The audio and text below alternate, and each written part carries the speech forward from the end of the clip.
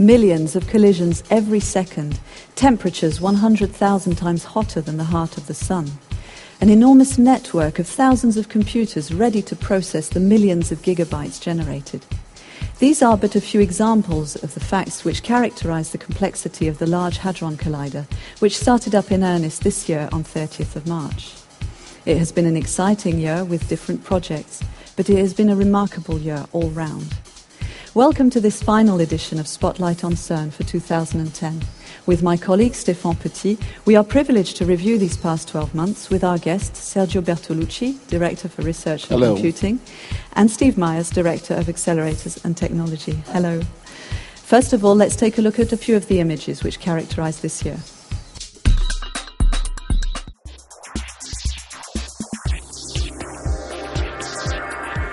Everything's green on the cryo uh, on the cryo screen, so we're okay at the moment. There is a lot of emotion in this game. It's not only work, it's not just job, it's not impersonal, it's something that touches a lot.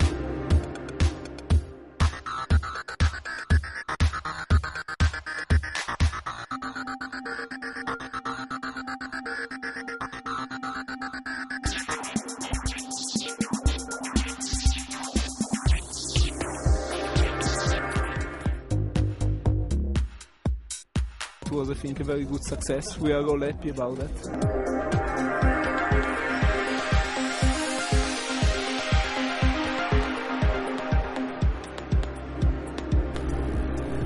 It's, uh, really the, the beginning of, uh, of a terrific era, and uh, we are so excited today. So now the fun starts. Now the young physics starts. One, one, good one. One million.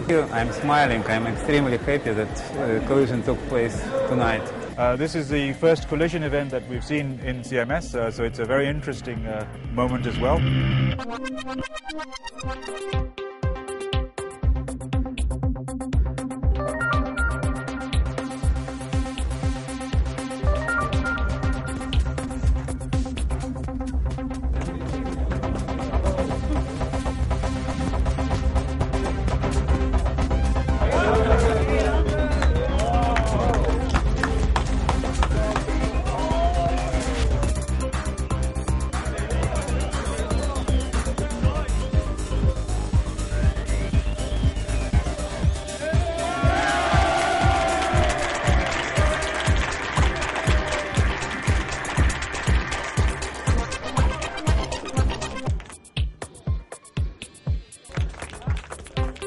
Beams up to top energy, 1.18 TeV, two beams.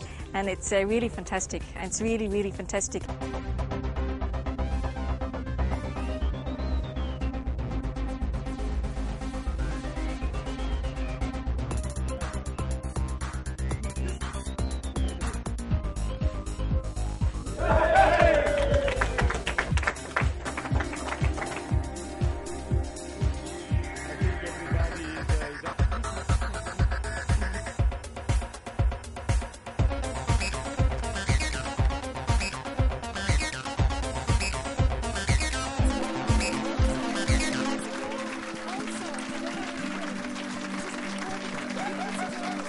We enter a new territory. Exploring 7 TeV will be a fantastic adventure. We are just at the beginning. Clearly, we have to do a lot of work.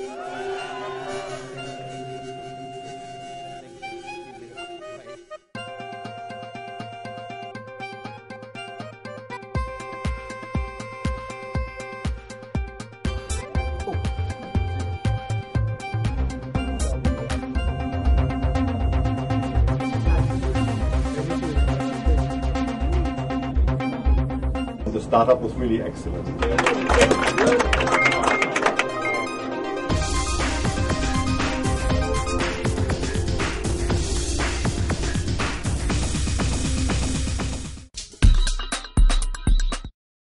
Hello, Steve. A year ago we met under the banner The LHC is back. So, after one year's operations, what are your feelings today? Well, my first feeling is uh, one of uh, uh, exhilaration because of the, the performance of the machine. Of course, we're all extremely tired and extremely exhausted, looking forward to a Christmas break. Um, I think everyone, including the experiments and the machine people, are in, overjoyed at the fact that the machine has turned on so quickly with such a high performance. And we finished off the year in glory with the, the lead ion run, which was incredibly fast and incredibly um, performant. So you could never have anticipated this? We could never have anticipated. When we last spoke, I would have hoped for maybe a quarter of the performance that we had for the Protons, but we actually we had a goal which we thought at the beginning of the year was very ambitious, set by the Director General, and we thought, well, we're probably not going to make this, but we actually exceeded the goal for the Protons by a factor of two, and probably the same goal for the lead ions by a factor of three or more. Sergio, hello. Hello. For the four main experiments uh, at CERN, after years of construction and waiting, and uh, this is the first year for the proton-proton collisions and also for the heavy ions, all the, the, the, results have been welcomed by the, the physicists with, uh, with great enthusiasm. Were the uh, objective met? Well, they were more than met, uh, in a sense. Uh, first of all, let me say that Steve, before when he was talking about the achievement of the machine, was using patent understatement what the machine has done this year is absolutely incredible. It's never heard before in the history of accelerator physics. Uh, so he should not be shy, he should say that, because it was really amazing. The experiment had one year of preparation, which they used very, very well, because uh, in the year in which we were fixing the machine for the famous uh, uh, incident, uh, the, they took about one billion cosmic rays uh, each experiment. So they could exercise uh, the grid, they could learn how just to run these big detectors, and they, they could align them. So when they started, the experiments were absolutely like experiments which were running already since a couple of years with real data. So they started, they could do physics immediately after. Just to give you an idea, when there were the first collision at 900 GeV, after three hours, not uh, three weeks, three hours, I had on my, on my desk the first distribution of something which three days later became the first paper out of LHC, New Physics. So it is incredible in a sense. And since then, uh, the experiments have gone through all the standard model very fast.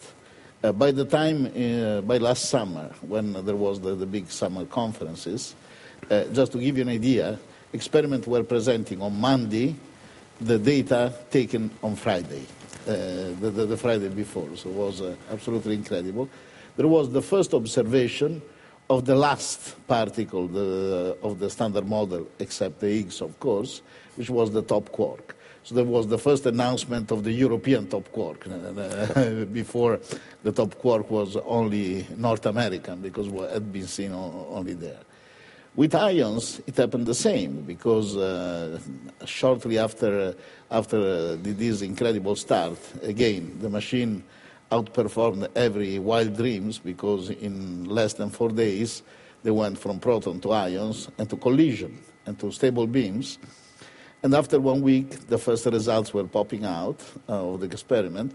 And the nice thing is that the, the experiment realized that we don't have only one ion experiment, we have three ion experiments, because also the two general purpose experiments, ATLAS and CMS, immediately uh, put uh, uh, the, the, study on the ions, and they understood, for instance, that they have uh, their feature allows them just to, to probe things which are not easily done uh, with ALICE. So we, we exploited magnificent uh, interdisciplinarity between the experiments. They, they look at, for instance, at ions in different ways, and it's fantastic.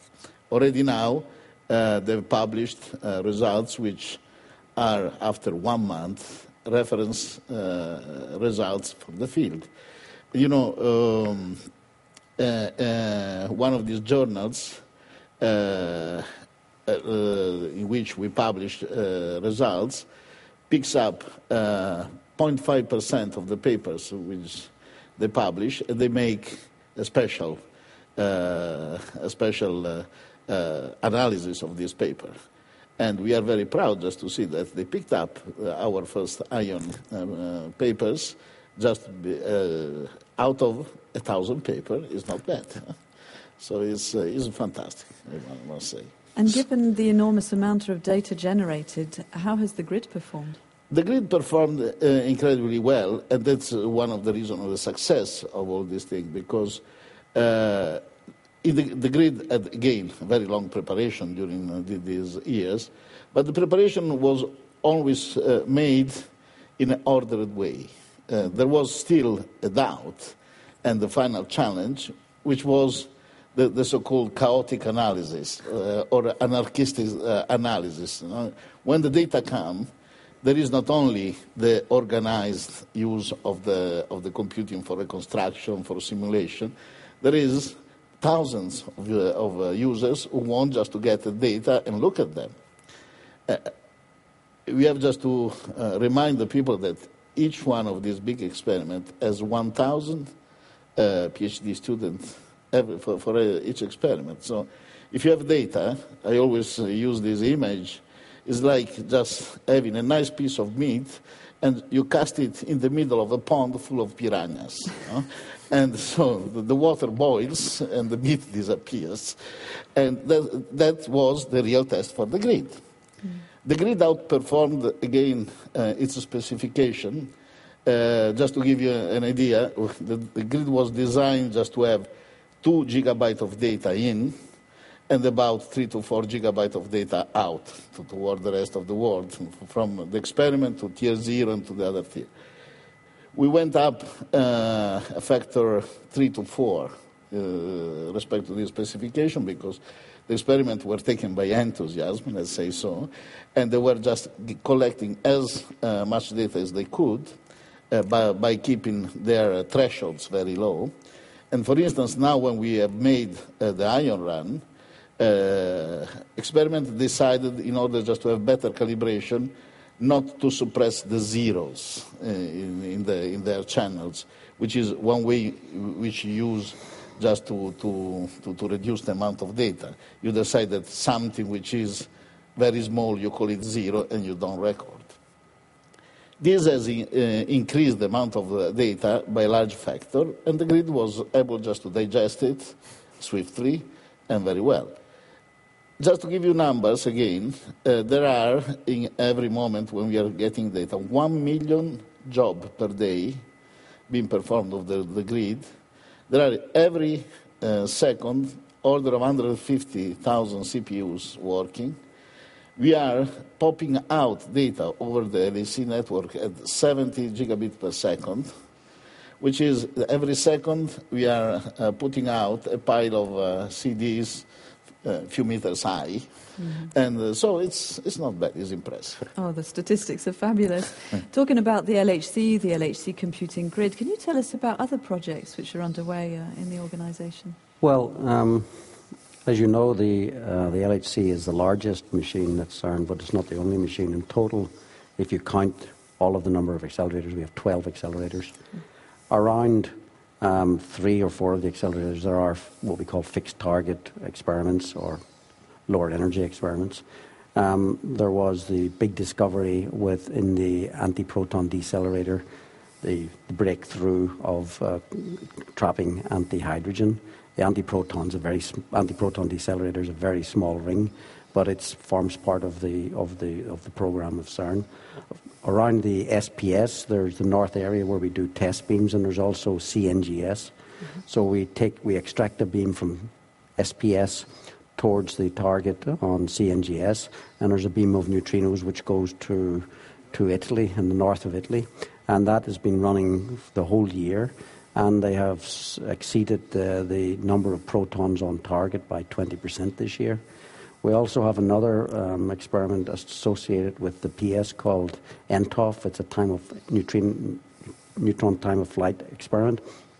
And uh, that experiment has worked beautifully the whole year uh, with a new target and so on, and they've produced some very interesting results. As well as that, there are experiments around the PS itself. Uh, there's the Dirac experiment on the, in the east area. And uh, of course, we have a large number of physicists um, around the ISOLDE project, which runs off a beam from the PS booster, which is a lower energy machine. So in total, the whole the whole complex of accelerators uh, outperformed what we expected this year, and we have a lot of smiling faces out there from the experimenters. So, fantastic. CERN has had many successes in terms of technology transfer. Could you give us some few uh, examples? Well, uh, the, the most uh, famous one is uh, the web, of course. and uh, if you ask now uh, uh, a teenager when